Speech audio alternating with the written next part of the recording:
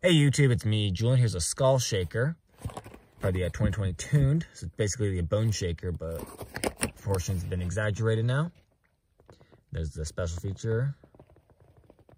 All right, so there's the back of the card. So the pink part's metal, everything else is plastic there. It's pretty cool. I like it in the uh, pink. I think it's pretty awesome.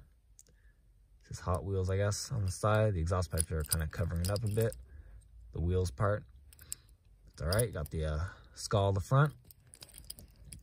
There's the uh, bobblehead. You can see how it works there from the side view.